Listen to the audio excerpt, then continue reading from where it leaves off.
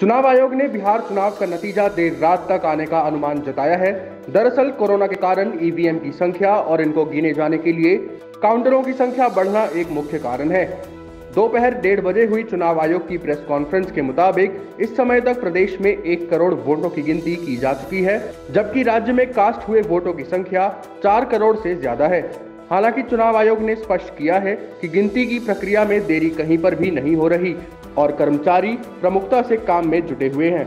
मतगणना धीमी नहीं चल रही है। मतगणना की रफ्तार वही है। जैसा कि मैंने बताया कि चूँकि ज़्यादा ईवीएम की काउंटिंग होनी है तो हो सकता है थोड़ा समय उसके लिए ज़रूर लगेगा, क्योंकि आप ये भी जानते होंगे कि 2015 के मुकाबले हर चीज़ में बढ़ोतरी हुई है। आपके नंबर ऑफ़ जो मतदान केंद्र हैं वो बढ़ गए हैं इसीलिए ईवीएम मशीनें जो काउंट होनी है वो बढ़ गई हैं आपकी।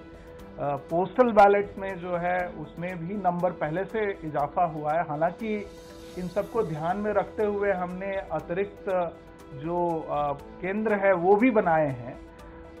पर फिर भी थोड़ा बहुत जो समय ज़्यादा काउंट के कारण रहेगा वो रहेगा।